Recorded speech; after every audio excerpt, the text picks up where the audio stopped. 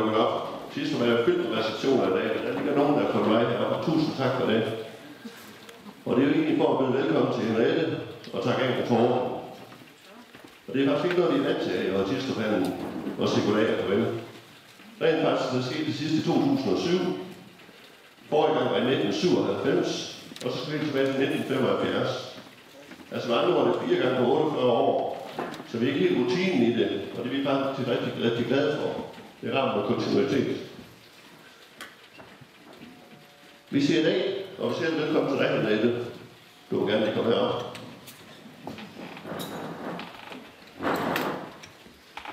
Og vi byder dig velkommen som ny centerleder. Og vi er utrolig glade for, at du fandt vores ansøgning interessant, og at du valgte at lægge billet ind på jobbet.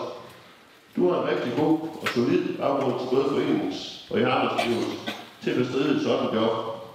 Og vi er ikke i tvivl om, at det var det helt rette match, og vi glæder os rigtig meget til samarbejdet. Nu har hun haft fire ugers erfaring her, og nu begynder hverdagen for alvor at uge. ud. For det er jo et job, der bliver behov for at slå ærmerne op og løbe stærkt ind i den. Og der er rigtig mange arbejdsopgaver, så du får helt sikkert brug for den her lille gave, vi har købt til dig.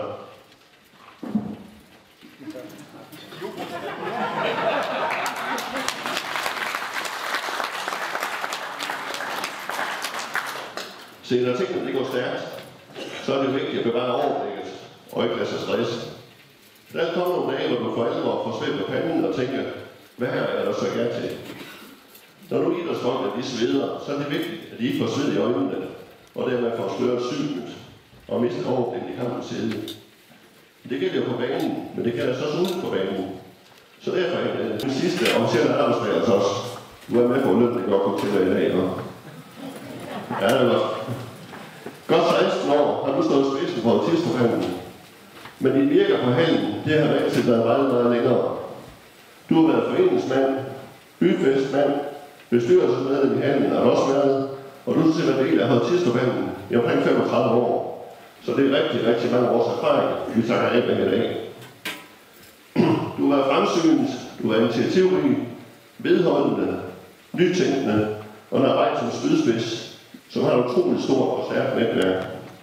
Både inden for det politiske verden, med forvaltningen, med de øvrige anlæg, sammen med foreningslivet og ikke mindst de rigtig mange frivillige, der har haft en eller anden tilknytning til. Du har at se mulighederne frem for forgrænsninger. Du har stået spidsen for mange nye tiltag, og du har en stor og vigtig brik i den store udvikling, vi har set i mange år. Det skylder på artisterområdet, der er en kæmpe tak for. Det er umuligt at være sendt op. Du har valgt at skulle komme noget andet i dit arbejdsliv, og det har vi naturligvis stor respekt for.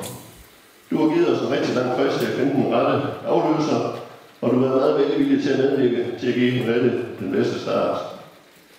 Vi vil takke for mange timer samvær, for et godt samarbejde, din kæmpe store indsats, og ikke mindst for din positive tilgang til tingene. Nu står der i avisen, du får en masse fritid, og du får tid til at finde ud af, hvad dit fremtid i dit arbejdsliv skal indeholde. Spændende. Ja. Vi har købt en lille ting til Anders som du kan bruge til at forkæle dig selv med, mens du finder ud af, hvad fremtiden skal bringe.